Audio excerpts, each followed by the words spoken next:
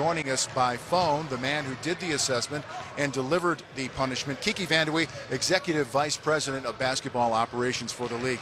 Kiki, thank you so much for joining us. Uh, how did you come to the conclusion as a flagrant one resulting from that play?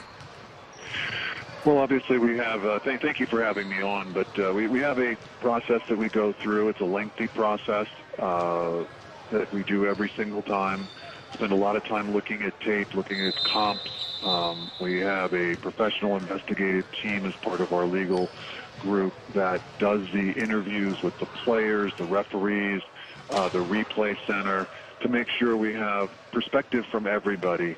And, um, you know, we looked at this as a retaliatory swipe, uh, you know, to the, to, to the groin area. And uh, we assessed a flagrant one. What had been your contact with Draymond prior to this, and uh, had you had a conversation with him regarding where he stood in terms of racking up these points? Well, you know, after the last incident, we have we obviously have uh, he had three points leading up to this, and um, you know he had a flagrant one for this one, and that that triggered uh, the suspension as part of our rules and point system.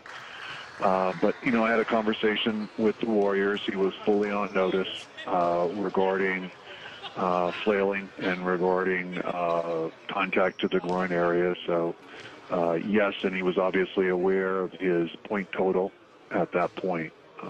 you know, prior to the incident. Kiki, because we have the NBA Finals as a backdrop for this, does it make the decision tougher? How much does that weigh into making the ultimate call? Of course, it makes it tough. Um, there, there, there's no question.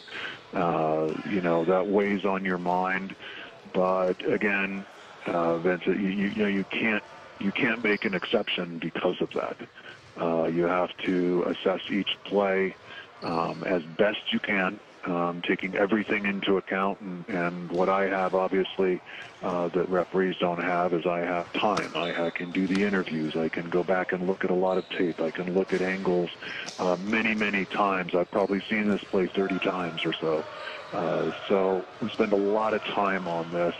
And, um, you know, we realize it's a big game, and, and uh, nobody nobody wants anybody suspended. Um, but again, you know, this is a cumulative thing. This is this is one flagrant foul point that unfortunately uh, triggered the suspension.